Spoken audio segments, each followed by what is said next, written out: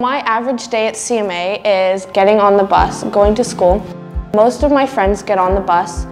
My first class is French or Humanities. Then we go down to gym every day. I really like to go down to gym and I like it because it's with the whole middle school so we can hang out with other grades. Right now we're doing track and field and we get to do like high jump and we get to do hurdles. At my old school we didn't have gym so I didn't get to experience any of that. We come back from gym and have math, incubator or entrepreneurship. Then we have lunch. After lunch we have science or engineering. Then we have a 15 minute break in between and then we go to homeroom, another humanities block or foods. I think that CMA stands apart from other schools because it's like a small community.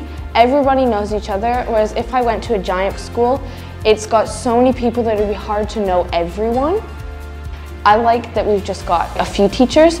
The teachers come to the classroom and we don't have tons of teachers.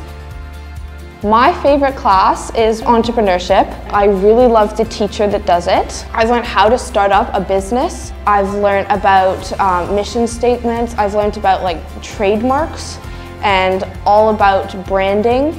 At my old school, I would have not known any of this. CMA is a really good school. You get educated really well and I've learned more than I've learned in a lifetime in two terms.